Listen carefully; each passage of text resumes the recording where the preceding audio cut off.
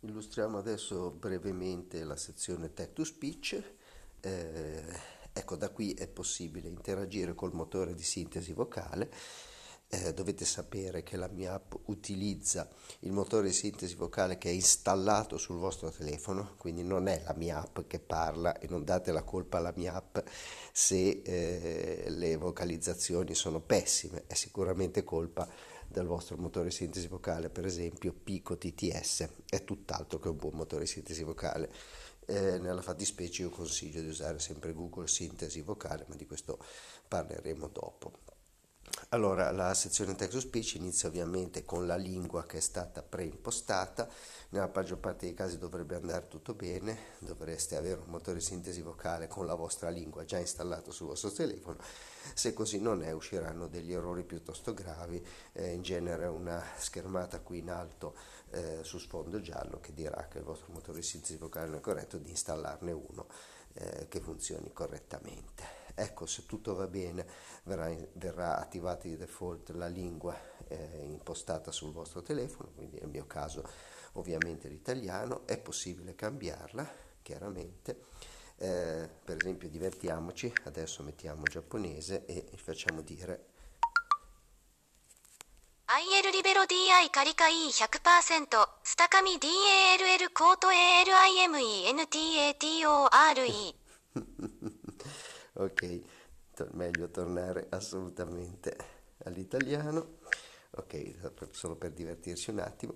Ecco, impostazioni text to speech, impostazioni text to speech, da qui si punterà alla pagina Android dove è possibile impostare il motore di sintesi vocale, come vedete io ho il motore di sintesi vocale Google che vi consiglio, anche Samsung Voice è abbastanza buono, poi ve ne sono a pagamento che sono ottimi, ma chiaramente io vi dico eh, il motore di sintesi vocale gratuito, uno dei migliori sicuramente, il motore di sintesi vocale Google. Ecco, da qui potete anche impostare la velocità vocale, il tono. Questo è un esempio di sintesi vocale in italiano. Quindi per esempio... Questo è un esempio di sintesi vocale in italiano. Questo è un esempio di sintesi vocale in italiano. Ecco, chiaramente vi invito a... Questo è un esempio di sintesi vocale in italiano. Questo è un esempio di sintesi Eh, vocale in italiano. Decisamente bene, vi invito a impostare chiaramente la velocità e il tono al meglio che vi possa soddisfare.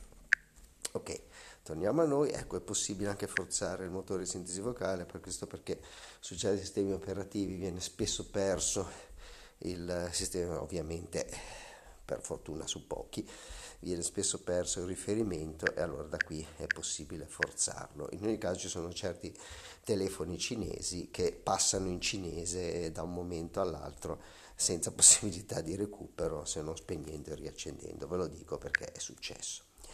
Eh, vocalizza in minuscolo è di nuovo interessante, infatti l'ho attivata, siccome certi motori di sintesi vocale e anche Google lo fa, eh, quando incontra delle parole tutte in maiuscolo tende a farne lo spelling, è decisamente fastidioso, allora eh, la mia app a questo punto converta prima il testo in minuscolo e lo fa riprodurre il motore di sintesi vocale in minuscolo, quindi si evitano queste problematiche.